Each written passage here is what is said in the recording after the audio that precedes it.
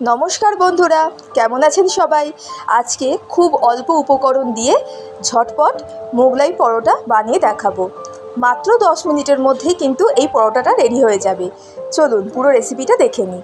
প্রথমে দেড় কাপ পরিমাণ ময়দা নিয়ে নিয়েছি, তার মধ্যে দিয়ে দেবো সামান্য পরিমাণে নুন। নুন আর ময়দাটাকে একটুখানি মিশিয়ে নিলাম, এরপর এর মধ্যে দিয়ে দেবো চার চামচ পরিমাণে সাদা তেল। সাদা তেলটা একটু বেশি পরিমাণে লাগবে কারণ ময়নটা ভালোভাবে দিতে হবে, নইলে খাস্তা হবে না। তার জন্য একটু বেশি পরিমাণে তেল দিয়ে ভালো করে এইভাবে মেখে নেব। মেখে নিয়ে অবশ্যই দেখবেন যে মুঠো হচ্ছে কি না এই যে ভালো করে ময়ন দেওয়া হয়ে গেছে, আর দেখুন মুঠো হচ্ছে। তার মানে ভালো করে ময়ন দেওয়া হয়ে গেছে। এরপর ঈষদ উষ্ণ গরম জল দিয়ে ময়দাটাকে ভালো করে মেখে নেব।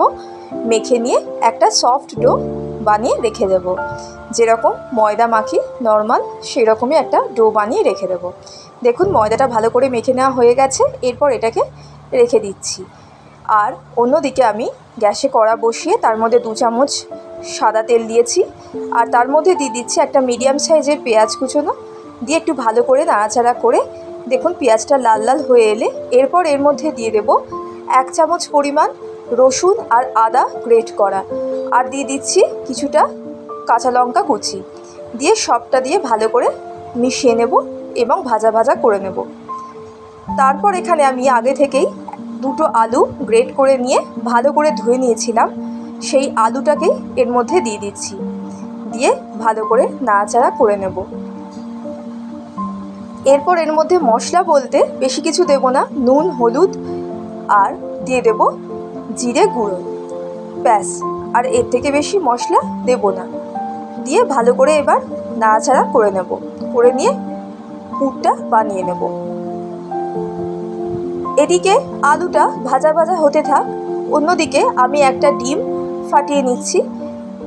ডিমটাকে ভালো করে ফেটিয়ে নিয়ে তারপর দিয়ে দিচ্ছি এই আলুর পুরের মধ্যে। আলুটা ভালোভাবে দেখুন ভাজা ভাজা হয়ে গেছে আর গলেও গেছে। এরপর এর মধ্যে দিয়ে দেব ফেটিয়ে রাখা ডিমটা। ডিমটা সবার লাস্টেই দিচ্ছি। দিলে ভালোভাবে আলুর গায়ে কিন্তু মাখা মাখা বেশ হয়ে যাবে। এরপর ভালো করে ডিমটার সাথে আলুটাকে মিশিয়ে নেব। আলুর গায়েতে দেখুন কি সুন্দর ডিমটা মাখা মাখা হয়ে যাচ্ছে।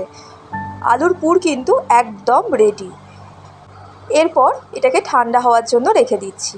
আর অন্যদিকে আমি এই ডোটা থেকে লেচি কেটে নেব। যেরকম বাড়িতে আমরা রুটি বা পরোটার জন্য লেচি কাটি, সেরকম সাইজেরই লেচিটা নেব।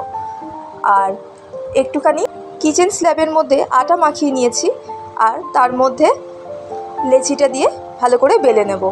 যেরকম আমরা রুটি বেলি, সেরকম গোল করেই বেলে নেব। আর একটু পাতলা করেই বেলার চেষ্টা করবেন। এই যে একটু বড় করে দেখুন, বেলে নিয়েছি। আর এদিকে মাঝখানটাতে দিয়ে দেব আলুর পুরটা। দিয়ে চারটে পাশ এবার মুড়ে নেব।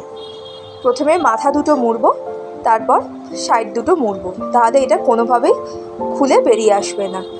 এই যে, এইভাবে ভালো করে একটু মুড়ে নিয়ে হাতে করে একটুখানি চেপে চেপে বসিয়ে দেব। দেখতেই পাচ্ছেন চার চৌকো একটা মোগলাই পরোটার শেপ দিয়ে দিলাম।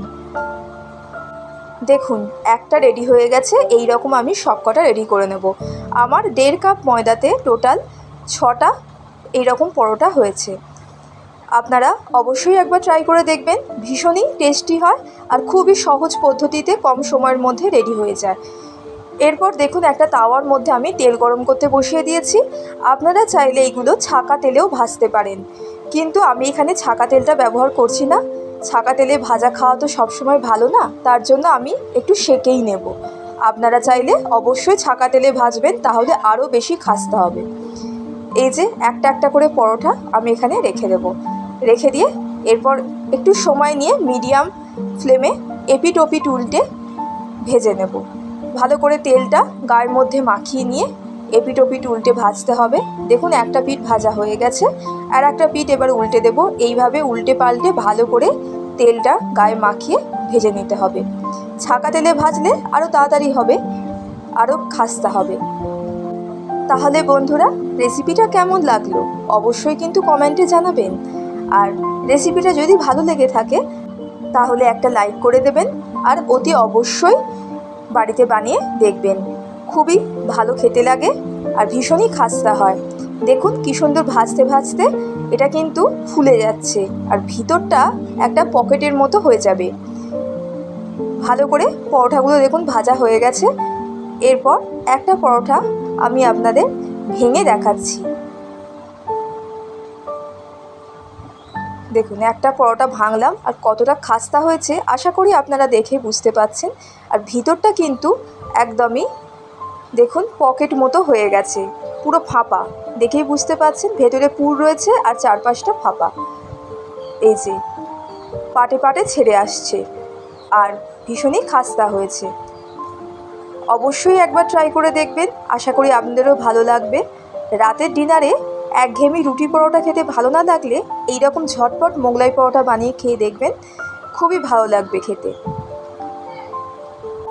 দেখুন, ওপরের পার্টটা ভেঙে দেখাচ্ছি কতটা খাস্তা হয়েছে আশা করি আপনারা দেখেই বুঝতে পাচ্ছেন তাহলে বন্ধুরা, একটা ছোট্ট অনুরোধ রইল, রেসিপিটা ভালো লেগে থাকলে আর আমার চ্যানেলে নতুন হয়ে থাকলে চ্যানেলটিকে সাবস্ক্রাইব করে আমার পাশে থাকবেন। ধন্যবাদ।